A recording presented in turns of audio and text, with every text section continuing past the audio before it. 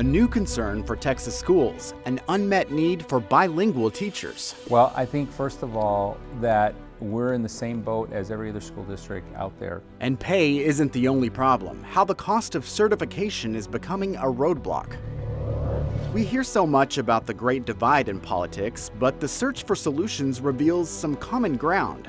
The big ideas where Texans actually agree, and how a new poll could be a roadmap for state leaders. Some candidates pin their hopes on winning the votes of young Texans, but that's not easy. We look at the challenge of getting young voters to show up at the polls. We've told you how critical data on maternal health has been delayed at the state, how it could affect funding to help pregnant women and new moms in Texas. Produced from the Capitol in Austin and airing statewide, this is the award winning State of Texas. Hello, and thank you for joining us. I'm Josh Hinkle. In just over two weeks, Texans will begin early voting to decide who will represent them in Congress and at the state capitol. Some of those candidates are counting on young voters to push them to victory, but as Monica Madden shows us, there are big challenges for any candidate chasing those votes. On college campuses across Texas, thank you for being a voter. You'll find campaign workers like Nancy Hurd. And I personally registered about 300 with our group. She's focusing on young voters.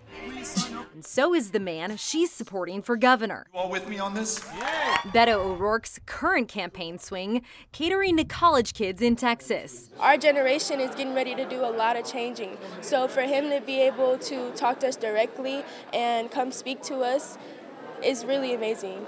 While the Democrat was hitting several campuses in central Austin, Governor Abbott spoke to business leaders in East Texas, sticking to messages that won him his seat in the last two election cycles. I am running for reelection to keep those hard working jobs alive and well in the great state of Texas. And attacking O'Rourke. Could all be destroyed if someone gets into office that would destroy the policies that have made Texas number one for business. O'Rourke is spending a lot of his time on college voters. The question is, will enough turn out for him?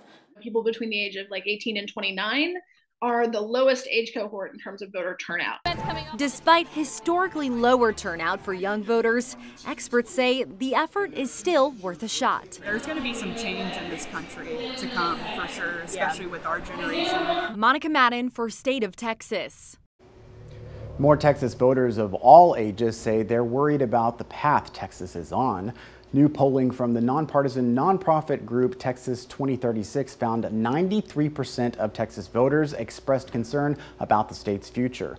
38% said they're extremely concerned. That's up from 25% this time last year. The concern cuts across party lines, but the poll also found common ground for potential policy solutions in areas like education, healthcare, and public safety. For Insight, we're joined by John Hryhorchuk, the Senior Vice President for Policy and Advocacy for Texas 2036. Welcome. Good to be here. All right. Well, we've heard and seen the divisions over policy in Texas, but your poll found some areas where Texans agree on what needs to be done. Yes. So our poll found that 90% of Texans, more than 90%, are concerned about the state's future. And um, while that's a very high number, that is shared uh, pretty evenly by Republicans and Democrats. What's interesting about it is they also agree not just on concern, but solutions. So when we look at things like education, water, criminal justice, workforce training, these big things out there that the legislature can address next session, a lot of these things 80% of Texans are ready to support. And part of the poll focused on policies to improve education, as you mentioned, and workforce development. What stood out there mostly to you? Well, when we asked Texans how they wanted to spend the budget surplus, it was very clear. Number one on their list was public education. They want to pay teachers more, both, both across the board and merit based teacher pay. They support an assessment accountability system that allows for transparency in how those dollars are being spent. And they want to make sure that we're investing in workforce training that results in good paying job for Texans. What about in regard to healthcare? On healthcare, one of the things that really came clear in our data is how people are making choices about their, their finances and, and the lack of knowledge about final pricing is causing a lot of Texans not to seek the care that they need. So it was about a third of Texans have skipped care because they did not know the cost, and this is exceptionally high among moms, where about half of Texas moms, because they did not know what the final cost of that care would be, chose not to get care. Where do Texans agree when it comes to public safety? On public safety, Texans trust their police, but they agree that there are uh, transparency measures and additional efforts that can be uh, made to stop having dishonorably discharged police officers rehired in other jurisdictions that are, again, overwhelmingly supported by 80 plus percent of Texans. Well, you know, we're coming up on a legislative session. What needs to happen to reach some of these goals in the session? You know, obviously there's going to be an election on November 8th, and our goal is to make sure that as legislators uh, prepare for January and that session, they know that there is a broad basis civic demand to go after these meat and potatoes governance issues that are going to improve the lives for everyone as we approach our bicentennial. Some of the people who are watching our program might not have heard about your group. Uh, tell us a little bit about what your your achievements and your accomplishments and what you're hoping to do with the group in the future. Well, Texas 2036 is a, a nonpartisan uh, think tank that seeks to use data rather than ideology to tackle some of the biggest challenges facing our state as we approach our bicentennial in 2036.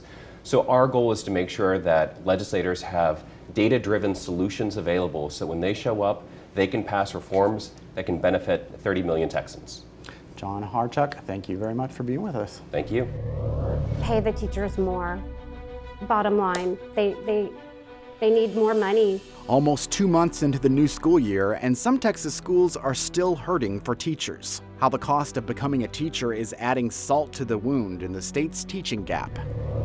Many key races in Texas are happening far below the top of the ballot. We check in with reporters around the state to get a glimpse of the candidates and issues driving voters to the polls.